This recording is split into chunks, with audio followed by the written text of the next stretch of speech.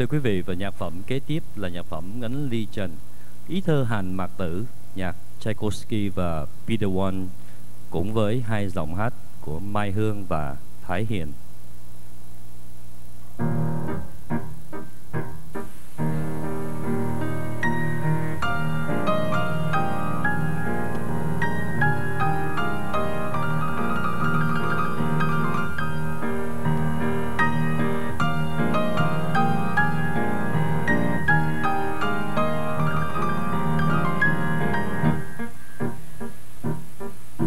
Xuân hồng, ngồi nghe rào rước ngang xa khúc ca đạp thanh.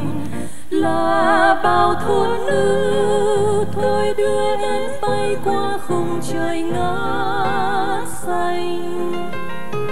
Ngựa xe bạch câu đi đến châu trầu đâu nơi sau bên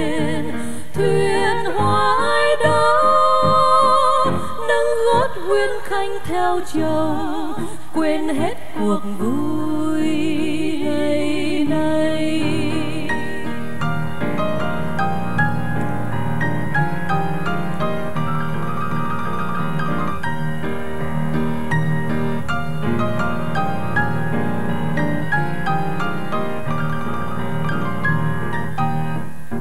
Mùa thu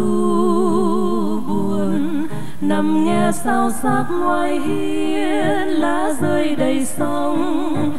Sâu dâng lên mắt gương soi khẽ câu đôi chân mày vuốt cong. Quạt lông nếp xiêm khẽ vuốt, thân thờ bàn tay ôm chuột người sao không nhớ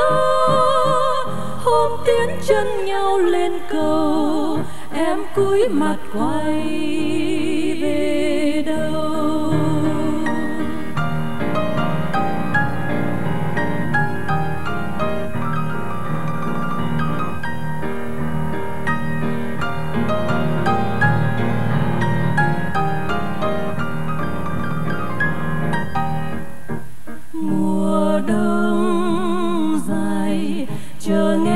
Nghe hoàng hôn trước cung trường môn.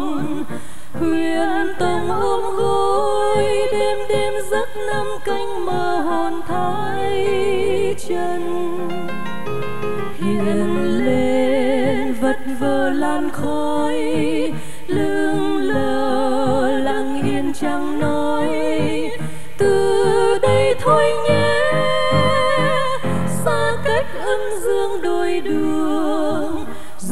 Gian xưa mơ nét phù dung phai thân dương linh